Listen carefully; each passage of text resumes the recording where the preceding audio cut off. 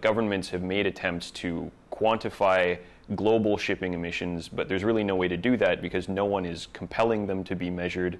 No one is compelling governments to do really anything other than enforce these very minimal standards that the international community has agreed to at this point. In this country, there's no real lobbying effort in Congress because there's no one to lobby. There's no lawmaker pressing to create a law that will crack down on the problem, that will even address the problem. So, in terms of money spent, the shipping industry looks a lot smaller than the problem really is because there's really no reason for them to go out of their way to draw any attention to themselves. The reason international organizations are having a hard time addressing this is because no one country has been able or willing to assert its own authority. And if no country steps forward, there's no such thing as an international government to create its own standards.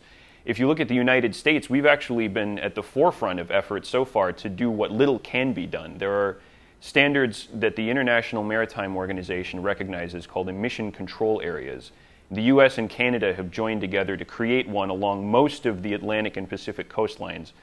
Although there's a curious exemption even there, most of Alaska has been cut out of that proposal, and it's not really clear why.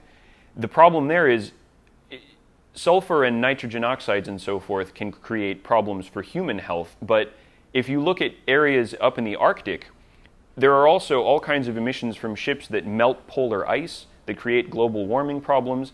And if you don't control their emissions in places farther north where few people live, but where the atmosphere is particularly vulnerable, you're not really getting at the problem.